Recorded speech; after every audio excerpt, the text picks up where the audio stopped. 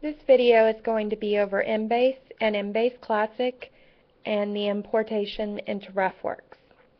What I wanted to show you about Embase, it is a little different from other databases. What you want to do is put in your first keyword. We're going to go back to our Pico example. We're going to put in breast feed. I'm going to put an asterisk at the end of this to indicate breastfeed or breastfeeding and press search.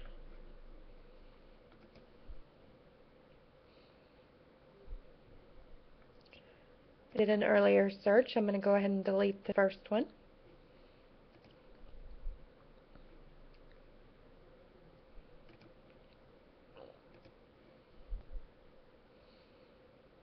Okay, and then to perform your second search, you go back to search. We're going to put in contraception. And we can just choose this example they have here.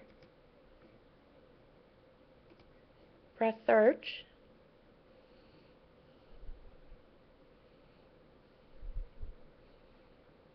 And then we're going to do another search.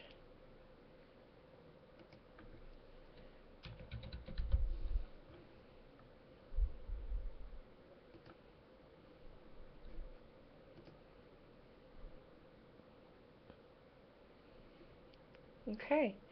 Now, to combine these, all you have to do is click here, and we're going to combine using AND.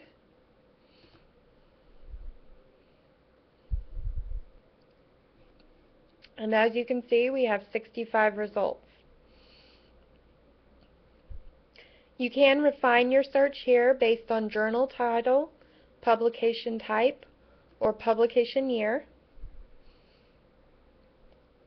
As you can see, you can keep expanding it. If you want to limit to 2010 from 2001, you can apply that limit there.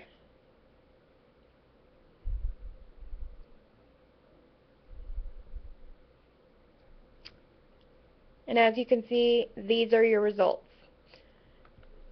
Now, if you recall correctly, I explained that this is just an indexing database, so you won't be able to view the full text here.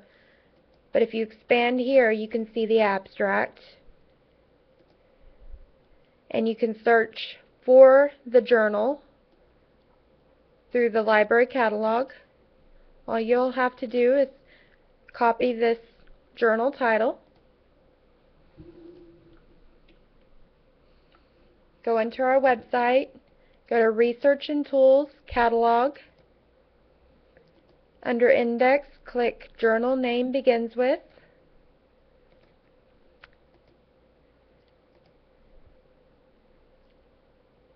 And we do have this journal.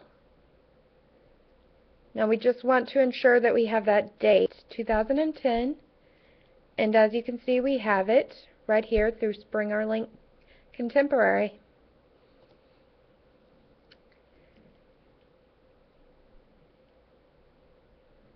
And for exporting into RefWorks, unlike EBSCO, Embase and a few other databases has the ability to export multiple citations.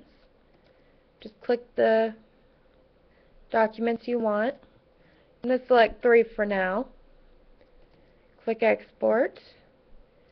Here's where you choose your type of export. We're going to go to RefWorks direct export. Click export.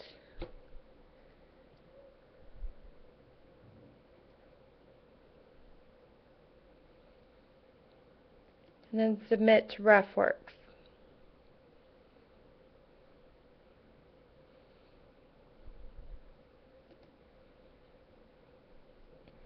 And there's our three titles.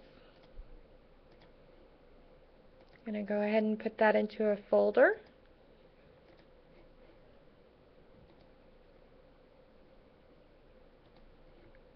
And that's it.